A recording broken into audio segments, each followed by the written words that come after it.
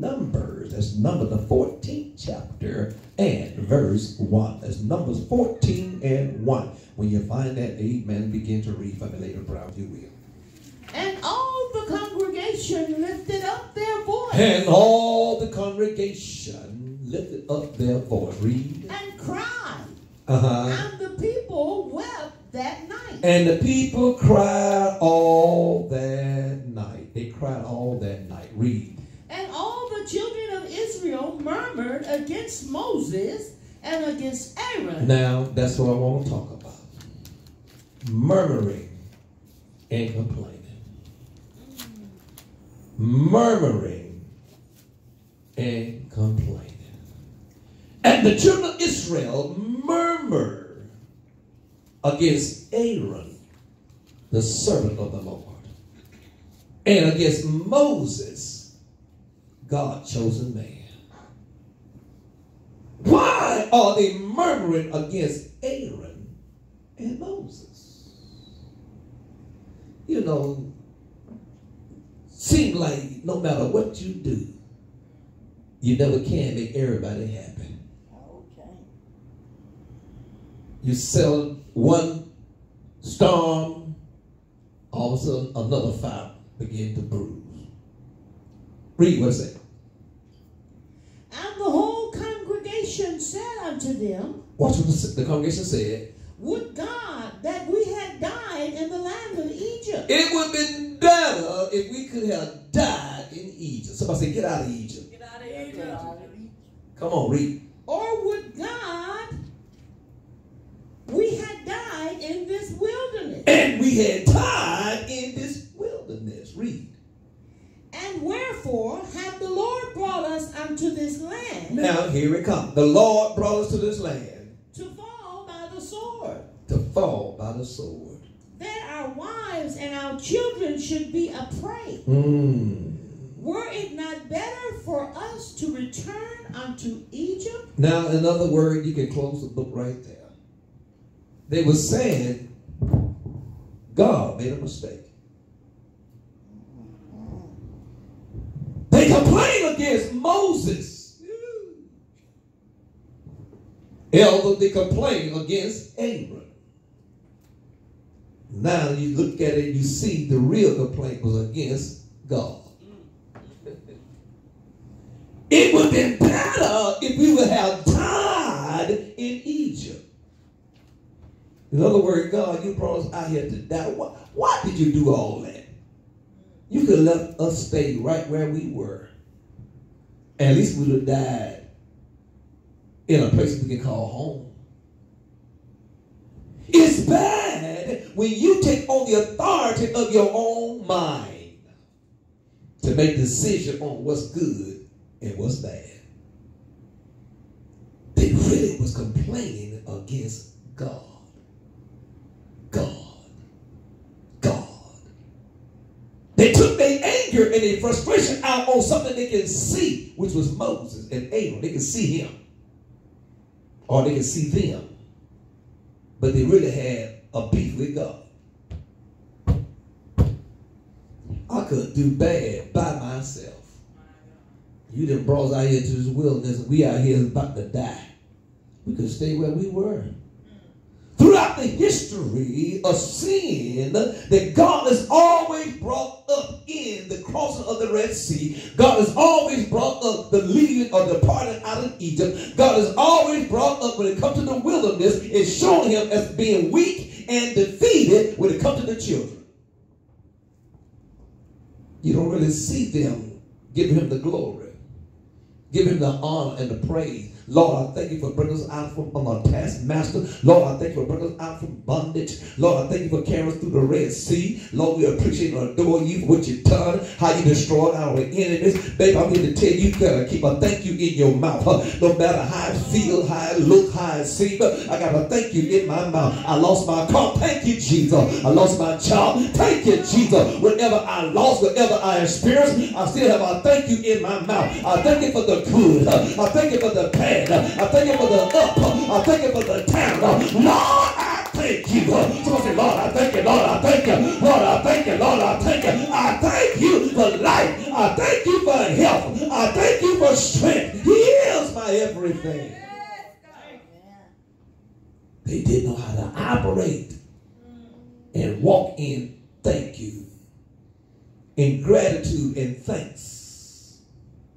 But instead, they walk in murmuring and complaining.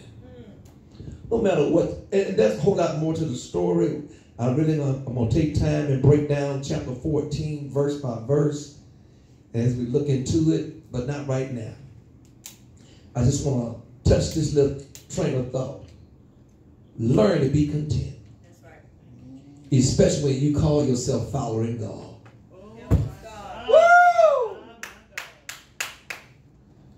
Learn to be content.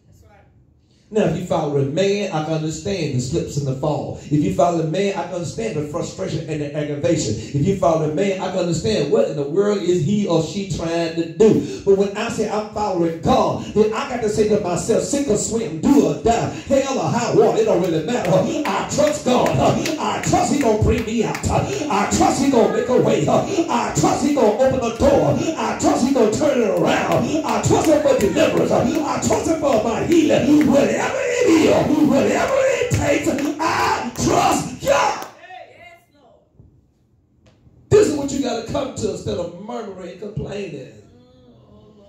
And as we begin to dissect the book of Numbers, especially the 14th chapter, you're going to see a bunch of just complaining and complaining and complaining, complaining, instead of saying, Lord, I thank you. I thank you for the land you've given me. And that's one of the things we're going to deal with and talk about too. Let me just kind of bite into it just a little bit and we're going to call it quits. If God is giving me something, why can't I show gratitude and thanks? Why I got to complain about what he gave? We find the children of Israel was complaining about what God had given and they have not received it yet. If you complain about what I'm about to give you, what you gonna do when I give it to you? They was complaining about the land and had not tread on the soil yet. But they had a murmur, they had a complaint down in there. Don't allow your current situation to dictate to you your future outcome. They were used to the leaks. They were used to the guard. They were used to saying, yes, sir. Yes, sir, boss. They were used to, I can't look at me in the eye. God. They were used to being slaves. They were used to being attacked and beaten. They were used to having a hard task put on them and people over them until they could come into the reality that God is taking me to another level in my life. When you in the fullness of God, you will accept abuse, neglect, defeat. Come on. You will live in weariness. You'll live in isolation, even in your mind. They sit them own self. That's, that's the danger of being slave and enslaved. You can be a slave and turn out to be enslaved to the things you're going through. Instead of going to it, you're going through it. God want to take them to it, but they can't get past going through it. May I say it again? God want to take them to it, but they can't get past going through it. You got to first go through it in order to get to it. I got to go through it to get to it. And if God brought me through the Red Sea, I'm going to get to my land called promise. If God brought me through the Red Sea, I'm going to get to my land called milk and honey. If God brought me through the Red Sea, I'm going to get to the land that God has ordered that I may have. He going to give me my unexpected miracle, my unexpected blessing. I don't know what to expect on the other side of the river. It's unexpected. But I think I trust him of his expectation. See, that's where it comes when I lean and depend on him. 400 years they cried. 400 years they was there in bondage. 400 years they wandered around in Egypt. No identity at all as the children of God. Now God want to bring them out and say, I want to be your God. And they said, let's go back to Pharaoh. Let him be our God. Hmm, hmm, Let the Egyptians be our lords. God want to take you to it. But you got to be willing to go through it. See, you want to go to that next level? Go through it. You want to see that anointing? Go through it. Go through it. Go, go through it. Go through it. Don't allow your current situation to dictate to you the outcome of your future. Go through it. Stop murmuring. Stop complaining. Stop looking back over your shoulders. Don't you know that when you're driving, you're supposed to look forward? That's right.